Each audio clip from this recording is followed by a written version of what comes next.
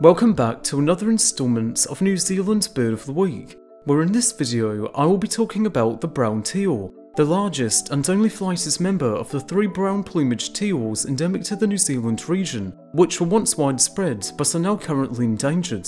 I hope you enjoy. Brown teals are a species of dabbling duck which are the largest and only flightless members of the three brown plumaged teals endemic to the New Zealand region. Both sexes are dark brown, although they vary in plumage and size. Males in breeding plumage have an iridescent green iridescence on their head, having a darker breast and having varying levels of light and dark brown flank feathers with a whitest patch at the tail base. Females, on the other hand, are typically uniformly dull but dark mottled brown, although they all share a conspicuous white eye ring and dark grey bills, legs and feet. They are most similar to the related Campbell and Auckland Island teals, although both are slightly smaller, with shorter wings making them flightless, as well as differing genetically. Their diets are quite diverse, with a study from Great Barrier Island recording 78 consumed taxa, including terrestrial, freshwater and marine invertebrates, fungi and terrestrial slash freshwater vegetation. They also seem to be quite partial to mollusks and crustaceans, incorporating a peculiar technique as of now undocumented in other birds, in which they force their rather soft bills between the shell of the animal, and then tearing out the flesh with a jackhammer-like pumping motion, with them often feeding at night and generally being crepuscular. This species is in fact the progenitor of the flightless Auckland and Campbell Island teals, which now all recognised as separate species on account of their geographic isolation and their plumage, size and genetic distinctions, although they used to be considered conspecific due to their relatively similar appearance.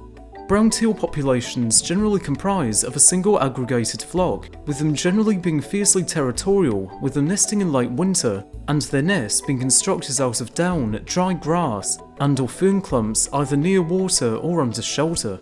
Males undergo a change of colour, having green coloured heads, chestnut coloured breasts, and a white stripe on each side of their body, with some also having a white clerical neckband. The female lays large pale eggs, each weighing as much as 10 to 11% of their body weight, and are laid daily, with the average clutch size being about 5 to 6, and their incubation extending for about 28 days. Both parents guard the ducklings during the first 50 to 55 days of fledging, after which they are then forcefully evicted from their territory on or about the time the parents start the post-breeding molt. Their omnivorous diet, restricted annual range, crepuscular activity, and mainly terrestrial lifestyle gives them a unique ecological niche among waterfowl, somewhat akin to a wetland rodent, serving as a classic example of the wide range of selective forces that operated on birds in pre-human New Zealand.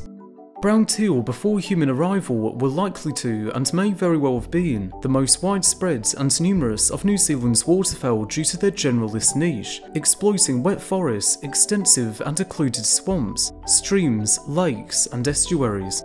They were still abundant after Maori arrival and up until 200 years ago, but became highly endangered since due mainly to the influx of new mammalian predators brought into the country, mainly dogs and mustelids, as well as extensive habitat clearance.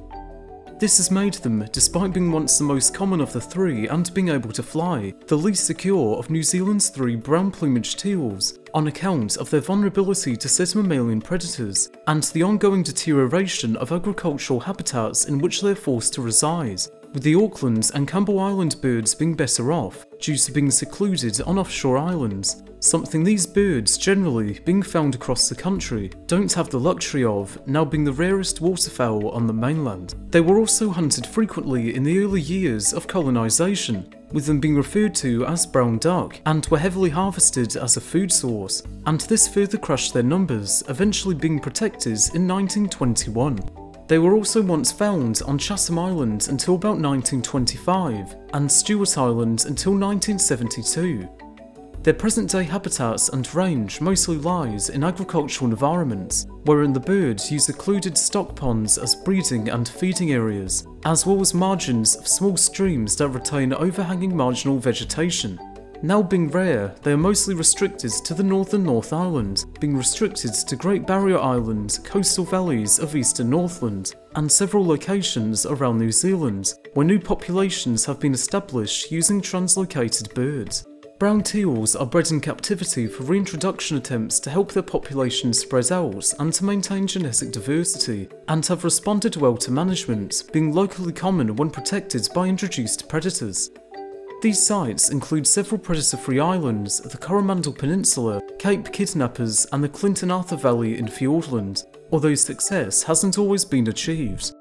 The population in the South Islands last being thought to have occurred in 2013, is likely to be extinct, having been replaced with captive origin birds from up north. DNA sequencing on specimens recovered from a freezer at Department of Conservation Te Anau indicated that there was a striking similarity to grey duck and mallard sequences with which they group, therefore seeming likely that the former Fiordland population had at some point in the past hybridised extensively with those other animals, likely down to population stresses through high levels of stoat predation. Birds were listed as nationally endangered until 2008, when their conservation status was changed to recovering due to captive breeding and release into predator-controlled areas that have seen their populations increase.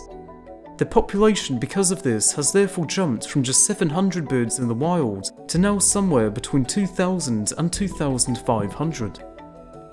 And with that, I thank you for watching this instalment of New Zealand's Bird of the Week. For next time, you are now able to vote for the bush wren, small birds that have the unfortunate distinction of being the most recent New Zealand birds to become extinct. And with that, I'll see you next time, whenever that may be.